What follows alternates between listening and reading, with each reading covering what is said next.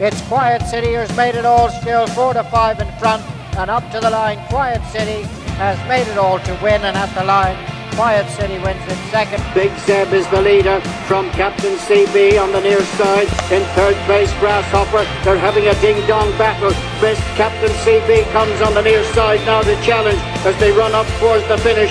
Captain Cee Bee and John Thomas McNamara get the better of Big Zeb.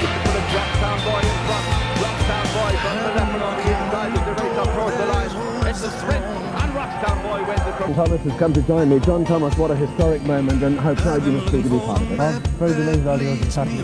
How did it go for you now? I mean, Jump, three went miles, fast. Yeah. Had a good spin, I think.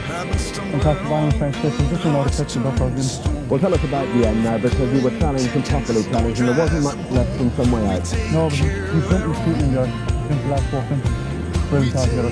What a horse he is. Oh. And then just a little bit distressed coming back. Yeah, a little bit in. Hopefully he's okay then. Well done, John Thomas. John Thomas McNamara and an Enda Bulger runner, Lamy out in front, and, and John Thomas McNamara, who's over the last.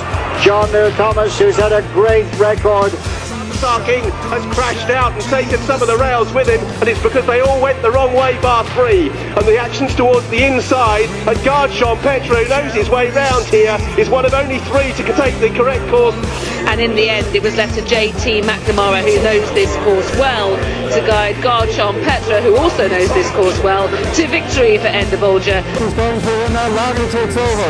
And it's Lamy from Lighton House. They've gone through from out of here final fence. And it's Lamy by half a length then to in second place is Lighton House. And as they go to the line, Lamy from Lighton House who switched and coming back at him. And as they go to the line, Lamy from Lighton House. It'll be very tight. Lamy Dan score for JP McManus in Enda Bulger and John Thomas McNamara on the fringe wins the Racing Post Hunters Chase.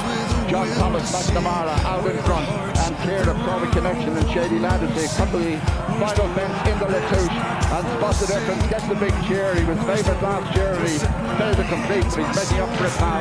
Going up the line, spot the the A3 National he's won this decisively under JT McNamara, Port Burgess and. Bobbers is the remote spin.